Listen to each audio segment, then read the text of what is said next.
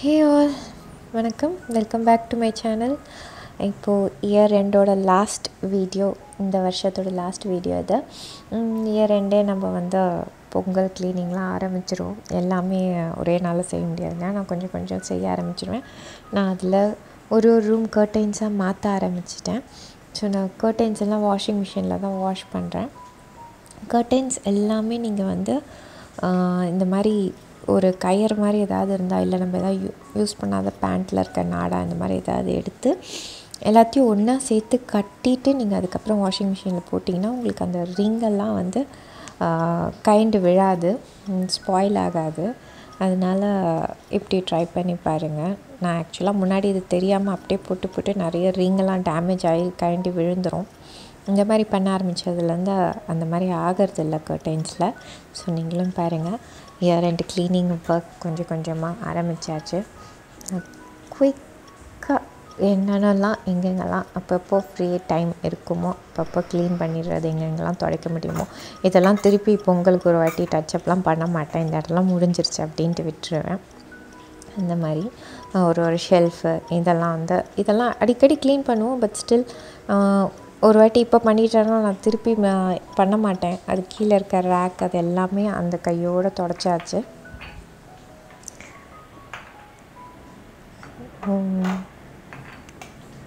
அதுதான் இது எல்லாமே என்னோடய காஃபி தூள் பாட்டில் தான். ரீயூஸ் பண்ணுறது சடனாக மழை சென்னையில். இப்போ நான் வாய்ஸ் ஓவர் பண்ணும் போதே உங்களுக்கு தெரியும். இடி மின்னலோடு மழை பெஞ்சிட்ருக்கு. யாரும் எக்ஸ்பெக்ட் பண்ணலை. இப்போ தான் ஊஞ்சது பட் திருப்பி அகைன் நிறைய சஃபர் பண்ணுறாங்க திருப்பி மக்கள். சேஃபாக இருங்க.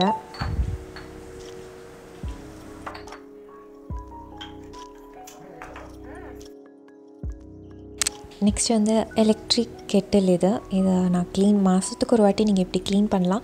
ஒரு பாதி அளவு தண்ணியில் நீங்கள் வந்து வினிகர் ஒரு ஸ்பூன் ரெண்டு ஸ்பூன் மாதிரி வினிகர் போட்டு நல்லா ஃபுல் பாயில் ஆக விட்டுருங்க. நல்லா ஃபுல் பாயில் ஆனதுக்கப்புறம் அந்த வினிகர் தண்ணியை வந்து இந்த மாதிரி கிச்சன் டவல்ஸ் இருக்கும் இல்லையா? ஆஹ் யூஸ் பண்ணாத ஏதாவது பாத்திரம் அதாவது அலுமினியம் பாத்திரமோ நீங்கள் என்ன யூஸ் பண்ணலையோ பிளாஸ்டிக் வேண்டாம். சூடு தாங்காது இல்லையா? அதில் ஊற்றிடுங்க அதில் கொஞ்சோண்டு டிட்டர்ஜென்ட் போட்டு நம்ம அதை ஊற்றி சோக் பண்ணி வச்சிட்டோம்னா நல்லா புது துணி மாதிரியே ஆகிடும் உங்களுக்கு அந்த பிசு பிசுப்பே இருக்காது. அந்த கிச்சன் டவலில் ஆயில் பிசு பிசுப்பே அந்த மாதிரி க்ளீன் ஆகிடும் அந்த மாதிரி வினிகர் போட்ட சுடு தண்ணியில் டிட்டர்ஜென்ட்டோடு நீங்கள் ஊற வச்சிங்கன்னா அதுக்கப்புறம் கெட்டில் நம்ம வந்து உள்ளே மட்டும் லைட்டாக நம்ம டிஷ் வாஷிங் சோப் போட்டு நல்லா வாஷ் பண்ணிவிட்டு மறுபடியும் ஒரு பாதி அளவு தண்ணி பிடிச்சி ஃபுல் ஸ்டீம் வர அளவுக்கு கொதிக்க விடுங்க. அந்த கொதித்த தண்ணியும் இதே நம்ம சோக் பண்ணியிருந்தோம் இல்லையா? கிச்சன் டவல்ஸ்லாம் அந்த இது அந்த பாத்திரத்துலேயே ஊற்றி நல்லா இதில் சுடு தண்ணியில் அந்த டவல்ஸ் இருக்கட்டும் ஒரு டுவெண்ட்டி மினிட்ஸாக இருக்கட்டும் அப்புறம் நல்லா கசக்கி போட்டுருங்க. க்ளீனாக ஆகிடும் அதுக்கப்புறம் பார்த்தீங்கன்னா உங்களுக்கு நல்ல டிஃப்ரென்ஸ் தெரியும். இந்த மாதிரி கிச்சன் டவல் யூஸ் பண்ணிங்கன்னா அடிக்கடி தூக்கி போட வேண்டிய அவசியம் இருக்காது. நெக்ஸ்ட் நம்ம வந்து வெனஸ்டே சமையல் பார்க்கலாம். நான் இது என்னோடய Wednesday menu ghee rice prawn masala சிம்பிளாக ஒரு காலிஃப்ளவர் பொட்டேட்டோ மசாலா ஃபஸ்ட்டு நம்ம காலிஃப்ளவர் பொட்டேட்டோ மசாலா பண்ணுறேன் பார்ப்போம் ஒரு பேனில் நார்மல் ஆயில் என்ன ஆயில் வேணால் எடுத்துக்கோங்க. வர மிளகா ரெண்டு கொஞ்சோண்டு பெருங்காயம் கடுகு தாளிச்சிட்டு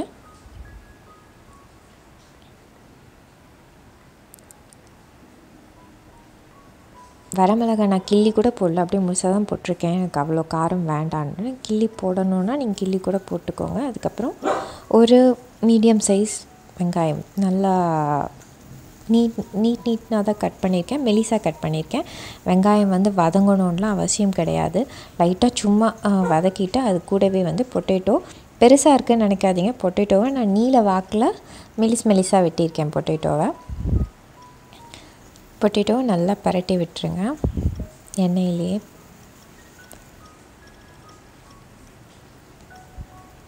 உருளைக்கிழங்கு வதங்கினோன்னே ஒரு டீஸ்பூன் இஞ்சி பூண்டு பேஸ்ட்டு.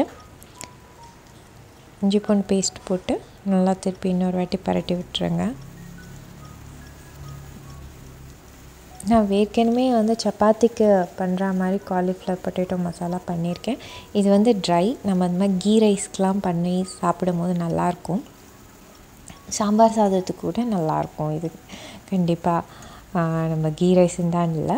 நான் இன்றைக்கி என் பசங்களுக்கு காலிஃப்ளவர்னால் ரொம்ப பிடிக்கும். அதுவும் காலிஃப்ளவர் பொட்டேட்டோ இந்த காம்பினேஷன் ரொம்ப ரொம்ப பிடிக்கும் அவங்களுக்கு. அதனால் அடிக்கடி பண்ணுவேன் இப்போ சீசன் இதை வந்து சுடு தண்ணியில் போட்டு எடுத்து வச்சுருக்கேன் காலிஃப்ளவர் நான் கொஞ்சம் காலிஃப்ளவர் வந்து பெருசு பெருசாக அந்த பூ நல்லா தெரிகிற மாதிரி தான் போடுவேன். அந்த மாதிரி போட்டால் தான் உங்களுக்கு பிடிக்கும் அப்படின்னா நீங்கள் வந்து பசங்க எடுத்து சாப்பிட்ற மாதிரி இருக்கும். காலிஃப்ளவர் போட்டு அப்புறம் அதுக்கு தேவையான அளவு உப்பு. காலிஃப்ளவர் நான் மஞ்சத்தூள் போட்டு தான் கொதிக்கிற தண்ணியில் போட்டு எடுத்திருக்கேன். அதனால் மஞ்சத்தூள் கொஞ்சம் கம்மியாக போட்டால் போதும். உருளைக்கிழங்கு வெங்காயத்துக்காக மட்டும் போட்டால் போதும். காலிஃப்ளவர் ஆல்ரெடி மஞ்சளாக தான் இருக்குது அதுக்கப்புறம் ஒரு ஒன்றரை டீஸ்பூன் மாதிரி தனியாத்தூள். நான் பார்த்திங்கன்னா இந்த காலிஃப்ளவர் உருளைக்கிழங்கு வந்து நிறைய செய்கிறேன் நான் நைட்டுக்கும் சப்பாத்திக்கு வச்சுக்கலாம். ட்ரையாகவும் இருந்தாலும் சப்பாத்திக்கு நல்லாயிருக்கும். ஒரு ஒன்றரை டீஸ்பூன் மாதிரி நான் சில்லி பவுடர் போட்டிருக்கேன். ரெட் சில்லி பவுடர் வெறும் மிளகாய் தூள் அது. போட்டு நல்லா பரட்டி விட்டுருங்க. ஓப்பனாகவே கொஞ்சம் நேரம் வந்து ஆயிலில் நல்லா ஃப்ரை ஆகட்டும். காலிஃப்ளவர் எப்போவுமே வந்து நல்லா எண்ணெயில் வதங்குச்சுன்னா அது நல்லா ஃப்ளேவர் ரிலீஸ் பண்ணும் அப்போ தான் நான் முன்னாடி சப்ஜி பண்ணும்போதும் சொல்லியிருக்கேன் காலிஃப்ளவர் நல்லா ஃப்ரை பண்ணிவிடுங்க அதே மாதிரி காலிஃப்ளவர் வந்து சுடு தண்ணியில் போட்டு கொதிக்க விட்டுறாதீங்க. அது வெந்துடுற அளவுக்கு. சூடான தண்ணியில் மஞ்சப்பொடி போட்ட தண்ணியில் காலிஃப்ளவரை போட்டு ஒரு ஃபைவ் மினிட்ஸ் கழித்து ஃபில்ட்ரு பண்ணி எடுத்துருங்க. அது வெந்துட வேண்டாம் காலிஃப்ளவர் ஒரு அஞ்சு நிமிஷம் அஞ்சுலேருந்து பத்து நிமிஷம் நீங்கள் மூடி வச்சிங்கனாலே நல்லா வெந்துடும் அந்த ஸ்டீமில் இருக்கிற தண்ணி விட்டு வெந்துடும் ஒரு தண்ணியெல்லாம் விட்டுறாதீங்க. ஒரு மாதிரி நல்லா ஃப்ரை ஆன மாதிரி ட்ரையாக வராது அதுக்கப்புறம். அதனால் தண்ணியெலாம் விடாமல் மூடி வச்சு அந்த ஸ்டீமில் வேக வச்சாலே வெந்துடும் அதுக்கப்புறம் கடைசியாக வந்து கரம் மசாலா அப்புறம் கொஞ்சோண்டு amchur powder dry mango powder இருக்கும். அது இருந்தால் போடுங்க இல்லைனா கூட பரவாயில்ல ஒன்றும் அவசியம் இல்லை. இல்லைனா கடைசியாக ஆஃப் பண்ணதுக்கப்புறம் லைட்டாக லெமன் மட்டும் புழிஞ்சிக்கோங்க. ஒரு ஆஃப் டீஸ்பூன் மாதிரி லெமன் இருந்தால் போதும். கரம் மசாலா மட்டும் போட்டு இறக்கிடுங்க அவ்வளோதான் நல்லாயிருக்கும் இந்த மாதிரி பண்ணி பாருங்கள் கொத்தமல்லி போட்டு பரட்டி ஃபினிஷ் பண்ணிடலாம் அவ்வளோதான் இப்போது ப்ரான் மசாலா பண்ணலாம். ப்ரான் மசாலா குயிக்காக பண்ணக்கூடிய ப்ரான் மசாலா தான். நான் எப்படி பண்ணுறேன்ற மாதிரி ஷேர் பண்ணிக்கிறேன். கடுகு சோம்பு பட்டை லவங்கம் தாளித்து விட்டுருக்கேன். அப்புறம் பச்சை மிளகா கீரி போட்டிருக்கேன். கருவேப்பிலை. முடிஞ்ச அளவுக்கு நல்லெண்ணெயில் செய்யுங்க. ப்ரான் ரொம்ப சூடு வயிற்றுக்கு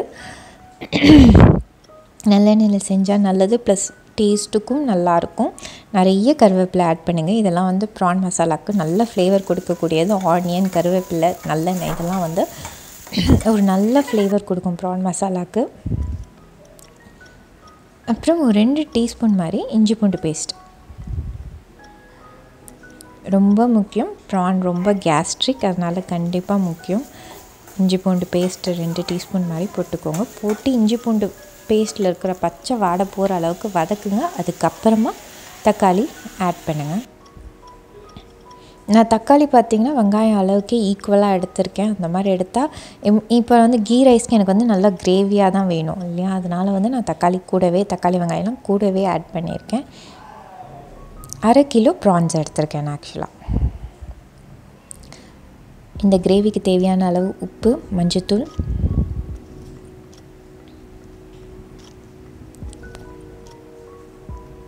போட்டு ஒரு பரட்டு பரட்டிடுங்க. தக்காளி நச்சுக்கணும்னு நான் வெயிட் பண்ண வேண்டாம்.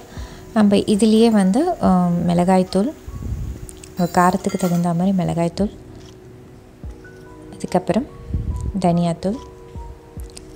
தனியாத்தூள் ஒரு ஒன்றரை டீஸ்பூன் மாதிரி சேர்த்துக்கிறேன் நான். நல்லா பிரட்டி விட்டுட்டு சிம்மில் வச்சு மூடி வச்சுருங்க.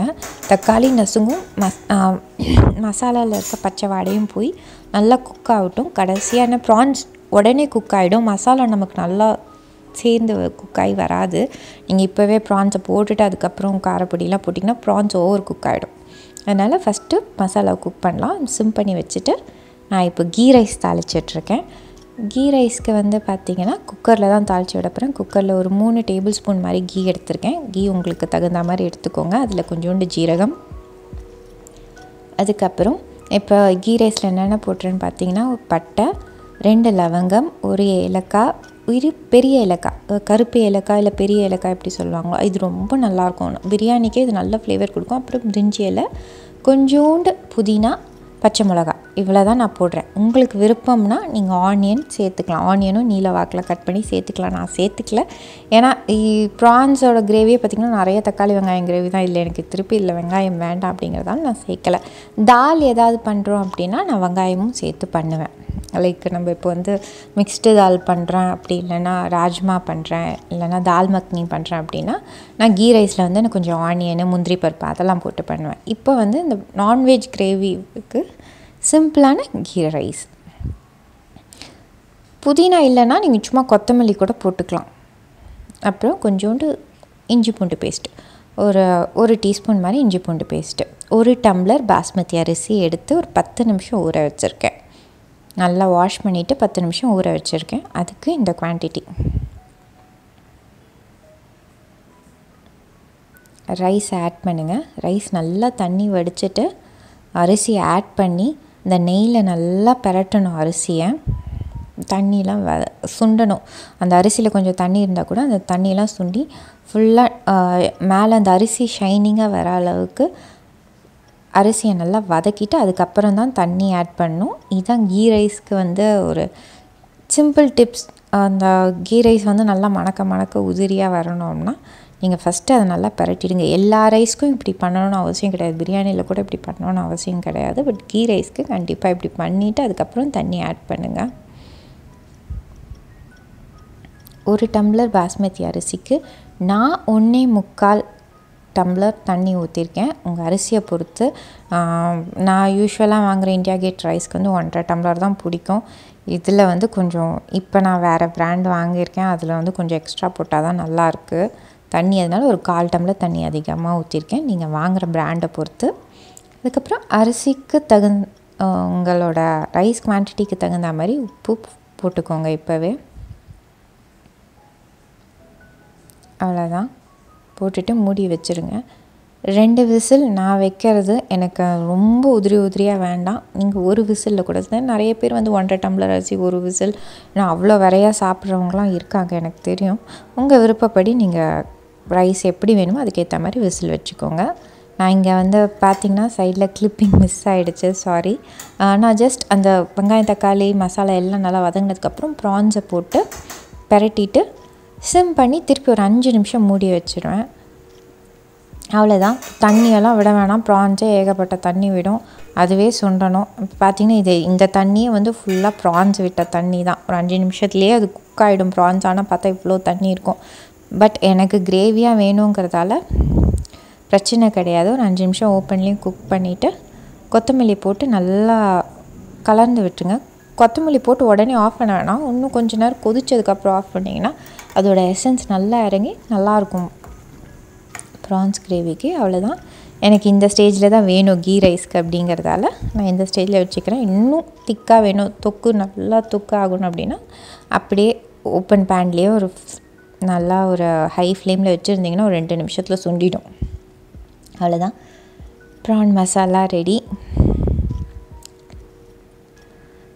குயிக்கான சமையல் தாங்க ரொம்ப ஸ்பெஷலான வெனஸ்டே லன்ச் மாதிரி இருந்தது எங்களுக்கு. பட் நான் வித்தின் ஒரு நான் எல்லாம் ரெடியாக பண்ணி வச்சுருந்ததுலாம் பார்த்தீங்கன்னா ஒரு ஃபார்ட்டி ஃபைவ் மினிட்ஸ்க்குள்ளேயே நான் எல்லாமே சமைச்சிட்டேன். ஏன்னா நான் காலிஃப்ளவரும் கட் பண்ணி க்ளீன் பண்ணி தான் ஃப்ரிட்ஜில் வச்சுருந்தேன். எனக்கு குயிக்காகவே லன்ச் ரெடி ஆகிடுச்சு கீ ரைஸ் பார்த்திங்கன்னா சூப்பராக வந்திருந்தது. நான் சொன்னேன் நான் யூஸ்வலாக வாங்குகிற பிராண்டெல்லாம் வேறு பிராண்ட் வாங்கினேன். எனக்கு அதில் திருப்தியே இல்லை. இந்த வாட்டி பார்த்திங்கன்னா ரொம்ப நீட் நீட்டாகலாம் வரல ரைஸு இவ்வளோ தான் பட் டேஸ்ட் இஸ் எப்போவும் இருக்கிற மாதிரி தான் இருந்தது. அதில் எந்த டிஃப்ரென்ஸுமே இல்லை.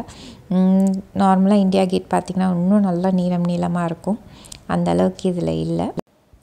அவ்வளோதான் என் குயிக்கான வெனஸ்டே சமையல் ரெடி என்னோடய வீடியோஸ் ரெசிபீஸ் உங்களுக்கு பிடிச்சிருந்தா சப்ஸ்கிரைப் பண்ணி லைக் பண்ணி சப்போர்ட் பண்ணுங்கள் எல்லாருக்கும் happy new year and thank you for வாட்சிங்